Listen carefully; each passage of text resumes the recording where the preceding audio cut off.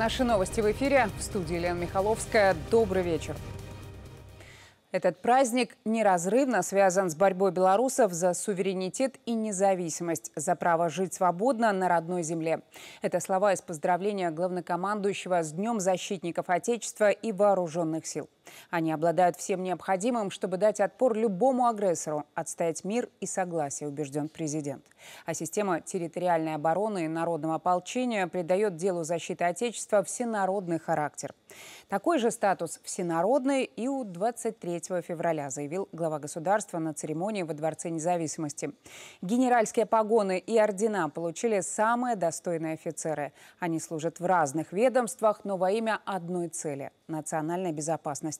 И должны быть образцом для молодого поколения. Ведь мужество, стойкость, преданность и патриотизм – это залог мирного неба, которое так ценят белорусы. Наталья Тарасюк о героях и наградах. Без перемен ли на Западном фронте или Запад что-то задумал и проводит маневры вблизи наших границ? Четкий ответ на этот вопрос всегда должен знать уже генерал-майор Владимир Белый. Он командует войсками Западного оперативного командования, штаб в Гродно. Командованию пошел 82 год. Оно считается правоприемником 28-й краснознаменной общевойсковой армии. На счету ее солдат немало героических боев в годы Великой Отечественной. Они сражались за Родину и за Сталинград. Такая история доблести и чести – пример для современных защитников белорусских рубежей. Мы, как никто другой, чувствуем э, вот эту сложность обстановки, потому что мы находимся на западном рубеже.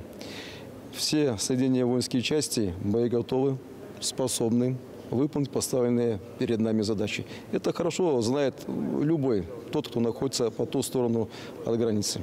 Наши военнослужащие, когда выбирали свою профессию, ни разу не ошиблись в этом.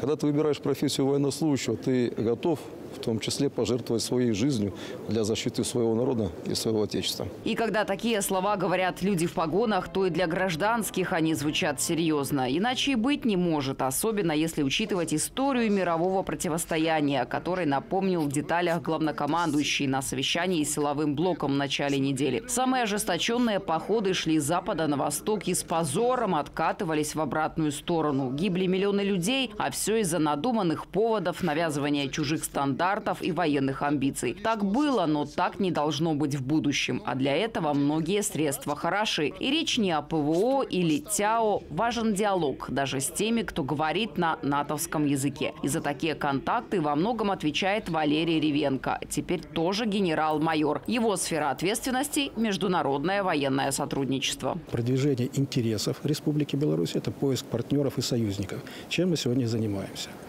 С другой стороны, это поиск компромиссов с западными государствами, это контакты с представителями западных государств для того, чтобы снизить напряженность вокруг нашего государства. Работа ведется очень серьезная.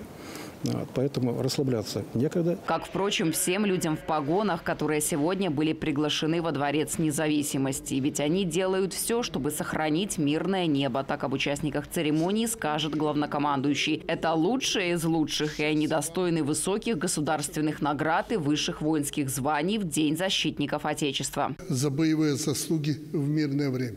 И мирным для нас оно остается потому, что наши воины стоят сегодня на пути реального врага, как преграда.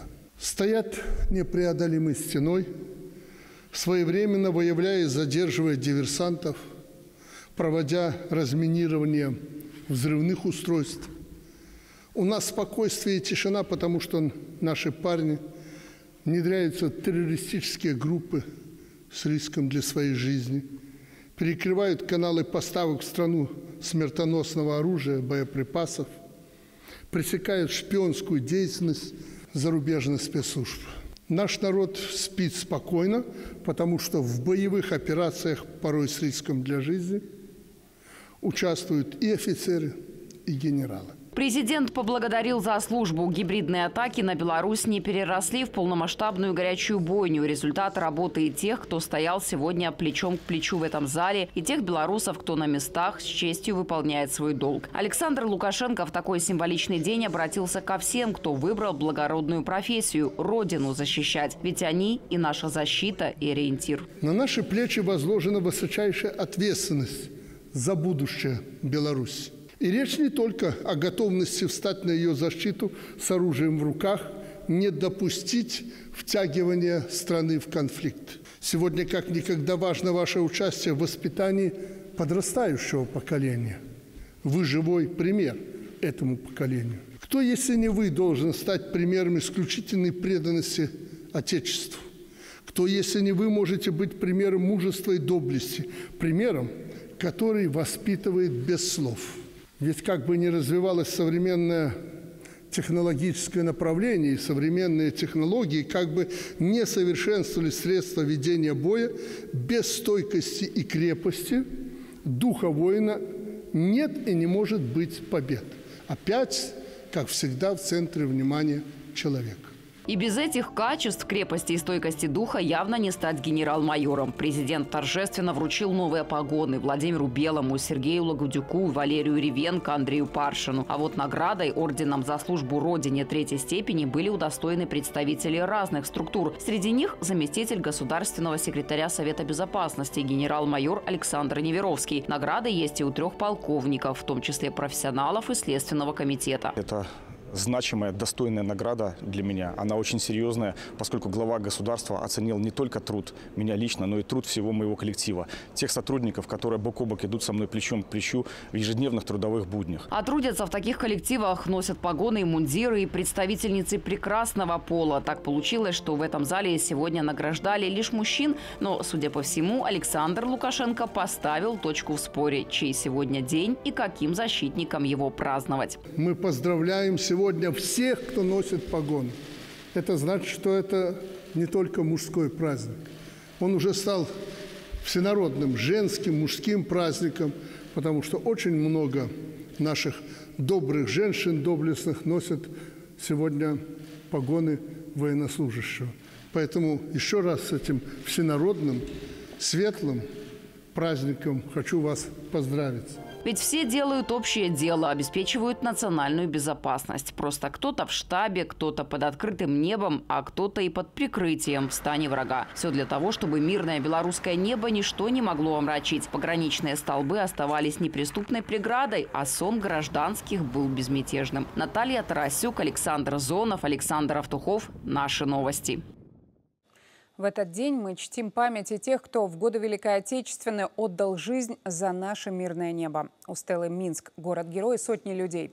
Венки к подножию в знак благодарности поколению победителей. Особый символизм в том, что 24-й – это год 80-летия освобождения Беларуси от немецко-фашистских захватчиков.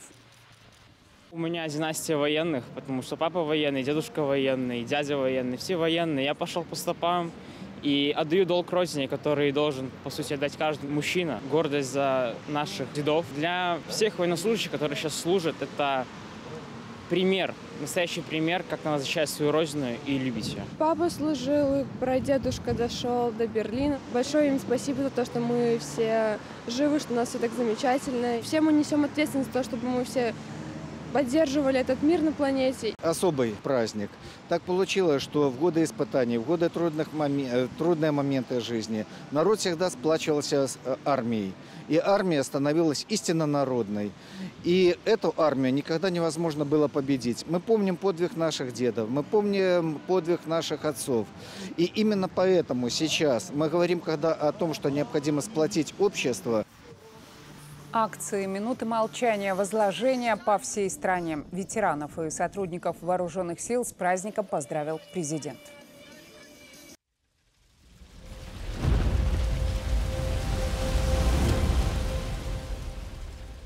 Глава государства подписал указ о награждении орденом матери. Награду получат 186 жительниц Брестской, Гомельской, Гродненской, Минской, Могилевской областей, а также Минска. Четвертый день досрочного голосования завершился, и только что Центр избирком обнародовал результаты. Свое право на участие в выборах реализовали более 33% избирателей. Активно голосуют в Гомельской области. На участке пришли уже более 40% избирателей. Высокая явка на досрочном голосовании для нашей страны традиционно. За процессом следят наблюдатели. ЦИК аккредитовал 294 международных и 238 от СНГ. Работают наблюдатели от Шанхайской организации сотрудничества. Есть и представители Евросоюза. В Центр избирком не поступала информация о серьезных нарушениях во время голосования.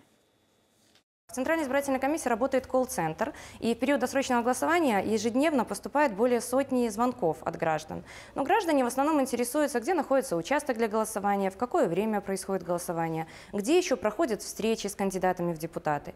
То есть эти обращения носят информативно-разъяснительный характер. Информации о нарушении не поступает. Проголосовать досрочно можно еще завтра с полудня. В единый день голосования в воскресенье участки работают с 8 утра и до 8 вечера. Белорусы изберут 110 депутатов Палаты представителей и более 12 тысяч в местные советы.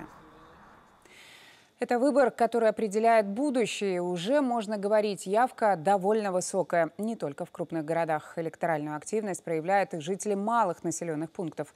А сегодня на участках многих встречали поздравлениями. И не только с Днем защитников Отечества.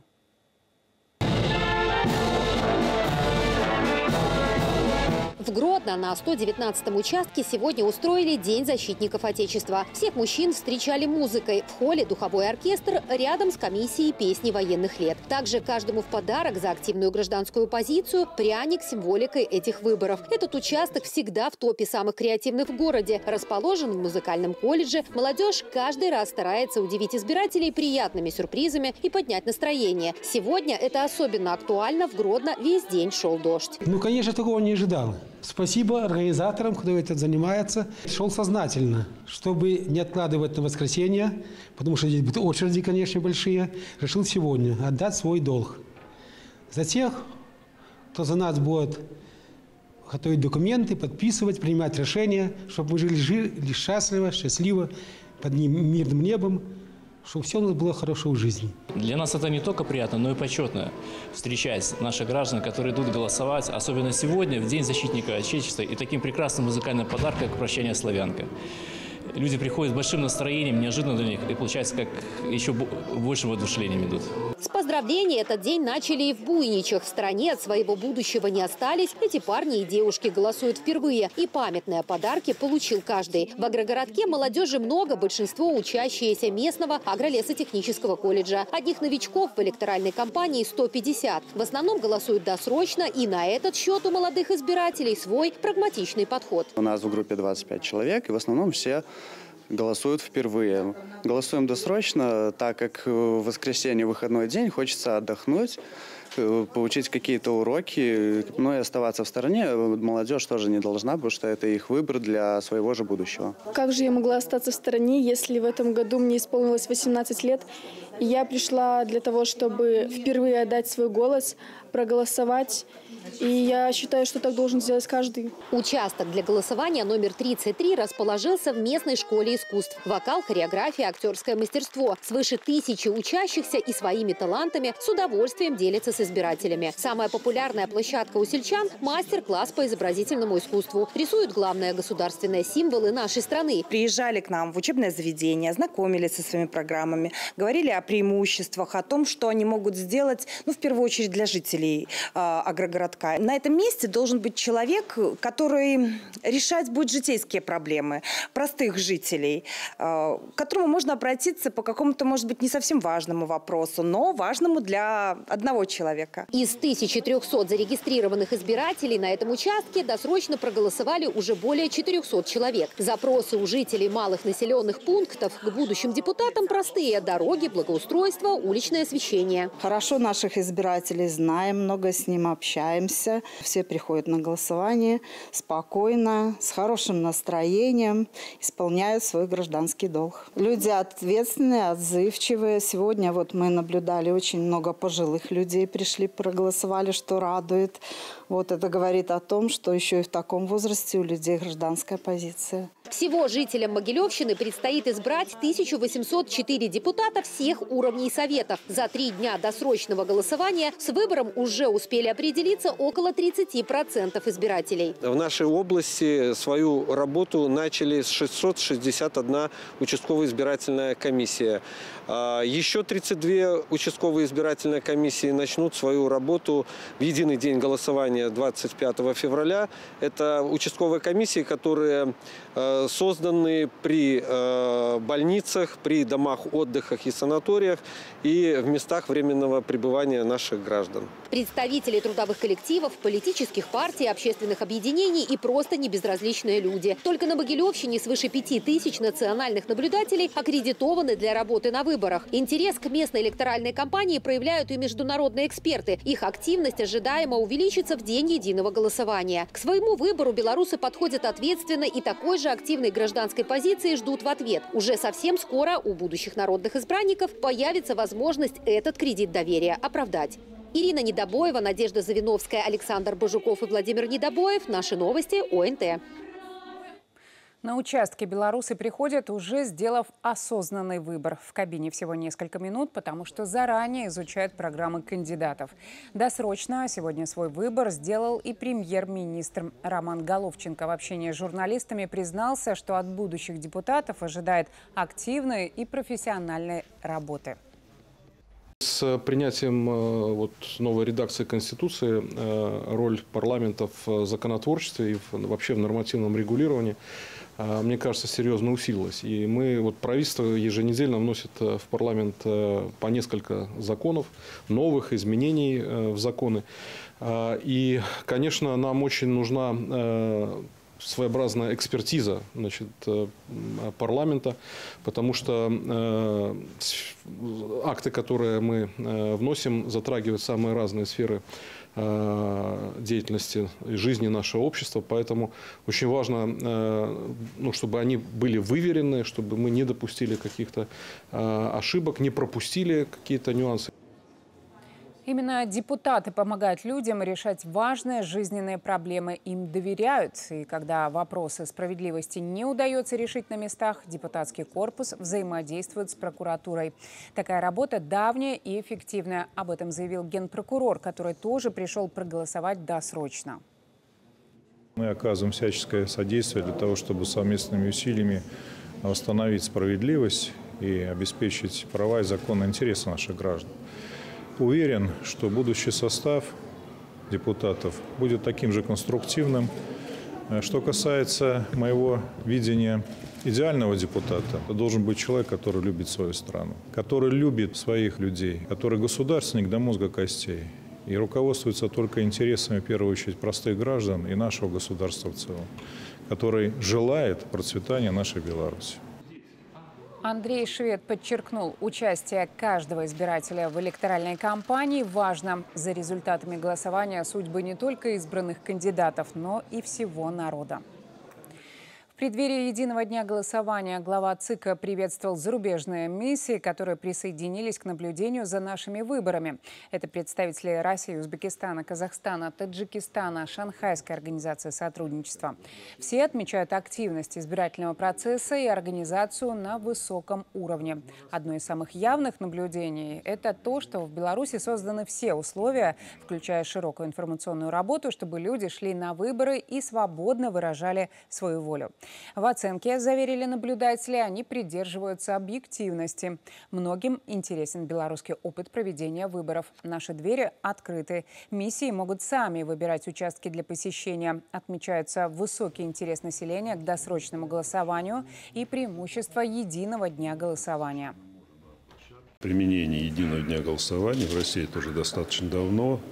А удобно и с точки зрения для организаторов выборов, и с точки зрения участников э, партийных или одномандатных округов. И для избирателей это удобно. Каждая страна имеет право работать в рамках тех стандартов, тех технологий, которые имеют традицию или которые востребованы времени. Мне кажется, применение единого дня голосования и участие э, избирателей и опыт Центральной избирательной комиссии дадут ответ на вопрос, как. Мне кажется, приживется. Миссия наблюдателей ШОС э, не вмешивается во внутренние дела, э, сохраняет принцип политической нейтральности, объективности, беспристрастности. И это соответствует одной из основополагающих задач ШОС – это обеспечение прав и свобод человека с учетом требований национального законодательства каждого государства-члена. Поэтому в нашей миссии в этот раз присутствуют или участвуют, работают представители практически всех государств-членов. Численность миссии составила 20 человек. И со вчерашнего дня все члены миссии уже прибыли в Минск. Представители зарубежных миссий также возложили цветы к монументу в центре Минска в память о тех, кто отдал жизнь за независимость и безопасность страны.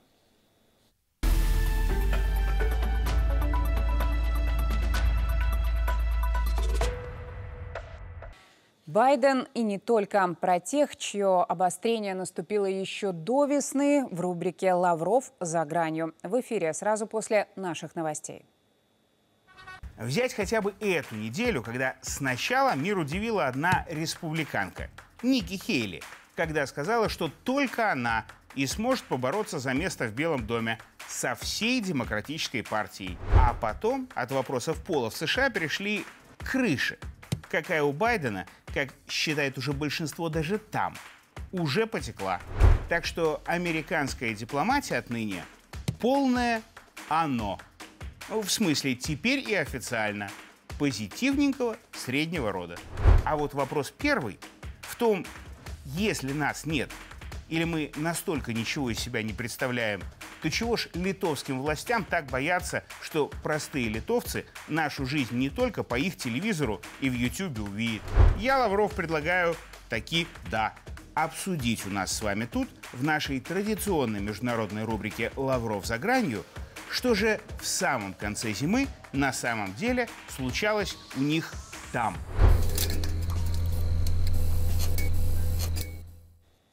В развитии совещания с Совмином президент подписал указ о финансовом оздоровлении двух строительных организаций. Это Гродно-Промстрой и строительный трест номер 8, обе в системе Минстрой архитектуры. Вопрос обсуждался еще в январе, и тогда глава государства не подписал предложенный проект указа, потребовав жестко увязать поддержку с выполнением некоторых требований. И главное, они сами должны прилагать усилия, чтобы восстановить платежеспособность, увеличивать объем объема подрядных работ. При невыполнении показателей господдержку прекратят. Персональная ответственность на руководителях организаций, министерстве и вице-премьере, который курирует отрасль. Практика, которая работает в Совете Республики, провели прямую телефонную линию с населением. Звонки спикеру поступали несколько часов. Обращения самые разные. Приватизация, трудоустройство, предпринимательская деятельность. В некоторых проблемах разобрались еще во время диалога. Такая практика давно показала свою эффективность. Только за прошлый год в таком формате приняли несколько сотен звонков. Были также встречи в трудовых коллективах, приемы граждан. За прошлый год в Совете Республики рассмотрели рассмотрели 7,5 тысяч обращений. Президента Зимбабве ждут в Минске. Детали предстоящего визита с главой африканского государства обсудил министр иностранных дел Беларуси. Он с визитом в Хараре. Наш президент там был в январе. Тогда договорились о сотрудничестве, а сейчас обсуждают реализацию. На встрече с главой Зимбабве Сергей Олейник подтвердил заинтересованность в развитии отношений. Проекты Зимбабве уже принесли результаты.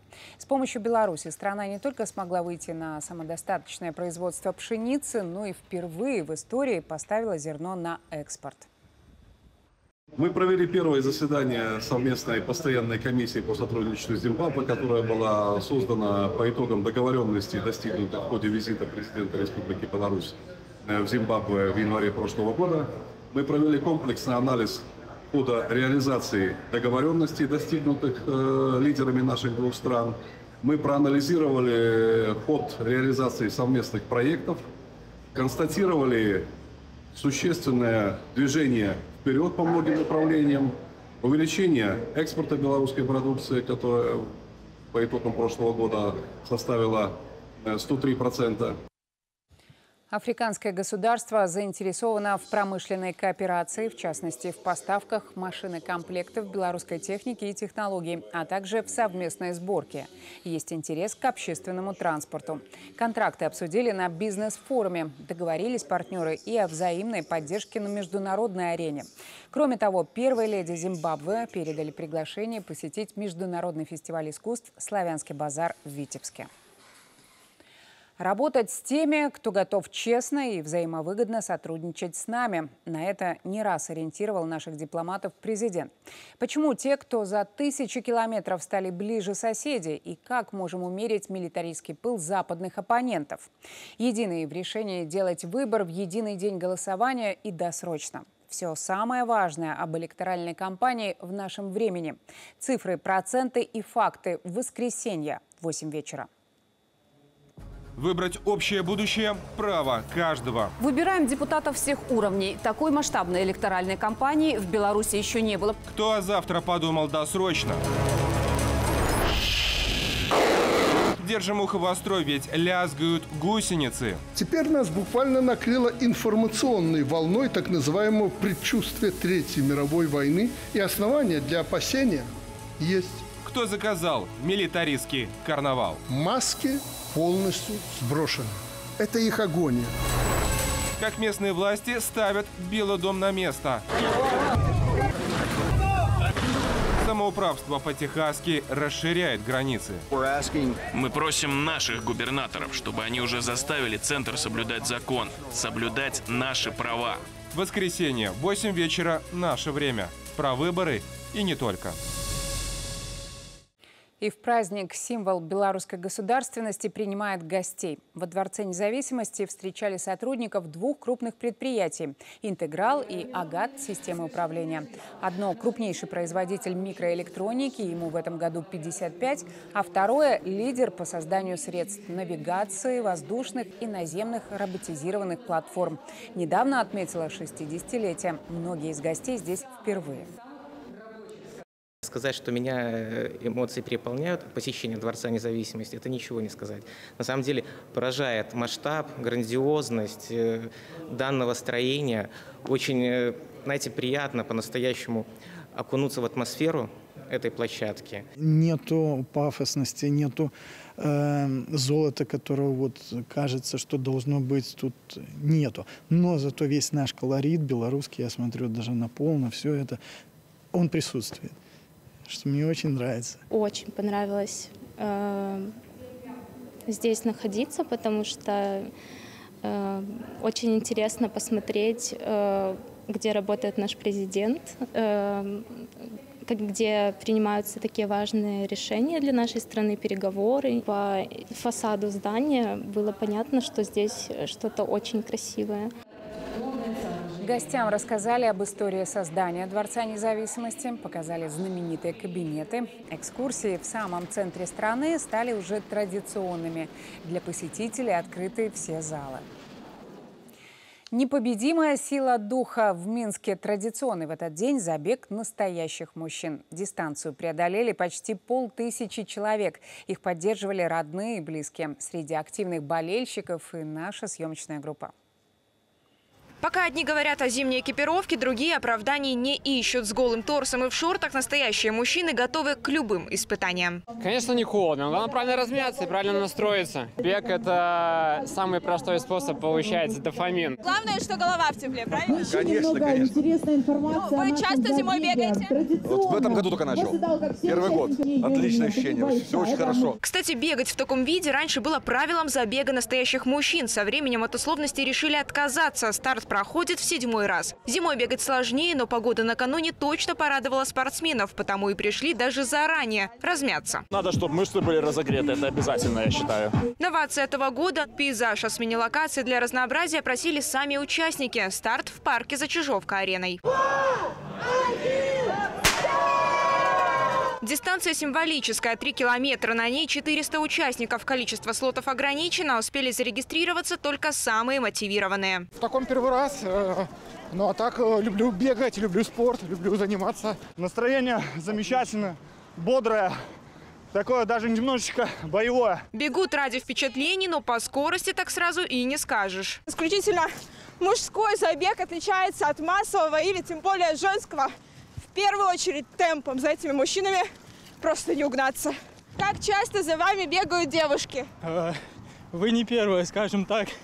Не скромно, но с такой физподготовкой в первых рядах звучит правдоподобно. Бегут участники из всех регионов страны, а кто-то приехал совсем издалека. Сегодня праздник, да? Да, очень-очень. И вы приехали сюда специально в Минск? Э, я, я в Минске на работе, да, да, я в Минске э, красиво. Сегодня... Вот так весело и в приятной компании до старта добрались буквально за 10-15 минут. На финише всех ждут вот такие фирменные брутальные медали. Здесь по традиции название забега и такой брутальный галстук. Но она достается сегодня моему оператору. А девушки – активная группа поддержки. Здесь мамы, сестры, жены провожали на дистанцию и встречали родных, пусть и символической, но победой. Самое главное – подарки на 23 и так далее. Новый год, все, что спортивное, все дарим. Кроссовки уже подарили Конечно, сегодня. да. И даже на этом не все. Горячий чай и солдатская каша – уже символ праздника. Мужчины сыты, сильны и защитить, если нужно, точно могут. Скоро на эту же дистанцию выйдут девушки. В международный Международный женский день на старте ожидают 500 красавиц. Дарья Щедим и Владимир Козиятко. Наши новости. ОНТ. Учат в школе, а с года качества и в музеях по всей стране. Первый урок нового формата состоялся в Минске, в одной из самых молодых институций. Она занимается сбором, изучением, хранением и демонстрацией наследия современного белорусского государства. Вот и тема премьерного занятия за пределами традиционного класса всегда актуальна. История совершается сегодня. Только в этот день в роли педагогов топовые чиновники Министерств образования и культуры. Самый умный союз скрепили подписями в зале нашего основного закона. Александр Матяс «Источник знаний». С чего начинается Родина? С картинки. И сегодня здесь старт экскурсии для поколения, рожденного после 90-го. Оно не знает песню хит про дефицитные два кусочка колбаски, очереди за самым необходимым в магазинах, а не в обменниках. Когда рассказываешь про кризисные моменты начала 90-х годов, про вот эти карточные, талонные системы, про э, все эти моменты, связанные с деноминацией того же белорусского рубля, как он менялся, какие были у нас номиналы, то, конечно, это у них вызывает порой даже какое-то легкое непонимание до момента, пока мы начнем это все объяснять. Педагогика и музейное дело – несколько разные дисциплины, разные направления, и приемы при этом, которые применяются, также отличаются. Все-таки в музее больше акцент делается на предметный ряд. Экскурс в историю от того, как Белоруссия стала Белоруссию. В этом году 30 лет со дня первых президентских выборов. Банкноты-зайчики, агроградки будущего и наш флаг – в космосе. Маршрут музея созданного по поручению Александра Лукашенко. Уроки должны проводить педагогические работники, но тем не менее, опираясь, конечно же, на опыт экскурсоводов, работников музеев, для того, чтобы полноценно представить экспозицию, особенности э, и использовать полностью потенциал музея. Это позволит на новый качественный уровень вывести преподавание, особенно социально-гуманитарных дисциплин в наших учреждениях образования. Помимо этого, э, Академия образования э, разрабатывала и отрабатывала комплекс комплекс э, дисциплин от 1 по 11 класс по всем учебным дисциплинам предметам в зависимости от специфики. То есть педагоги могут все от математики, географии, там, да, ну, с любого цикла использовать потенциал данного проекта. Тема первого урока была заявлена как «История совершается сегодня». Она не знает, если бы да кабы. У всего есть корни. В этом году 105 лет, как образована БССР, 85 Восточная и Западная Беларусь вместе и помнит 80 мирных лет народ победитель. Это своеобразное продолжение уже действующего соглашения, в рамках которого каждую последнюю среду месяца школьники посещают бесплатно наши музеи. А, действительно проведена очень такая масштабная, то есть очень детальная работа по определению тематик э, проведения открытых э, уроков в музейных учреждениях. Это не пробы и не ошибки, это просто поступательное движение вперед. И, в принципе, даже в рамках шестого школьного дня э, перед каждым учреждением образования образования, ну, наверное, стоит задача посещать не только музеи, но и театры, и кинотеатры. 23 февраля 2024 года дата станет памятной в отечественной педагогике. Закрепили на бумаге. Топ-чиновники, рожденные еще в Советском Союзе, ответили на все вопросы поколений миллениалов и зумеров. В Беларуси сейчас почти 160 храмов МУЗ. Руками не трогать, не дышите на шедевр. Правила, которые теперь учат в школе. Со временем такие уроки вне стен класса по разным предметам смогут занять целый учебный день. Особенно в универсальных краеведческих музеях. Давно доказано, лучше всего запоминается то, что наглядно показано. Знаете ли вы, что Самая массовая награда современной Беларуси – Орден Матери. С 96 года отмечены более 13 тысяч женщин. Я поведу тебя в музей. Уже не то, что было раньше. Не просто. Строка из хрестоматийного стихотворения Михалкова. Айсам Матяс Виталий Мотин. Наши новости. О погоде на выходные узнаем у Дмитрия Рябова. Добрый вечер, Дмитрий. Добрейшего. Погода в ближайшие дни – весна в феврале. Последние выходные месяца на улице мягко, влажно, тепло и ветрено. Средняя температура на 6-8 градусов выше нормы. Завтра погодные условия продолжат определять малоактивные атмосферные фронты и теплая влажная воздушная масса с южных широт.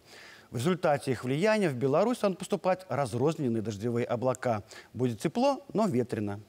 Итак, в субботу облачно с прояснениями. В большинстве районов небольшие кратковременные дожди. Ночью и утром местами слабый туман, видимость до километра. Влажность до 90%. Ветер южный, порывистый. Атмосферное давление ночью будет расти, днем существенно не изменится. Утром от плюс 3 по северо-востоку до 7 в юго-западных районах. В результате повышенной влажности и ветра по ощущениям немного холоднее. Днем столбики термометров на отметках от 3 тепла в Витебске до 12 в Бресте. К вечеру в диапазоне от плюс 3 в северо-восточных районах до плюс 10 в юго-западных. В воскресенье погоду продолжит определять теплая влажная воздушная масса с юга Европы. Облачно с прояснениями. Во многих районах дожди различной интенсивности. Ночью и утром слабый туман, видимость до километра. Влажность до 90%. Ветер южной четверти порывистый. Ночью плюс 1,7. Днем от 4 тепла по северо-востоку до 13 по юго-западу. В понедельник погода существенно не изменится. А вот со вторника и до конца февраля в большинстве районов будет спокойно, умеренно тепло, сквозь облака станет выглядывать солнце и без существенных осадков. У меня все. И не забывайте подписаться на наш телеграм-канал «Рябов ответит». И узнаете все о погоде и не только.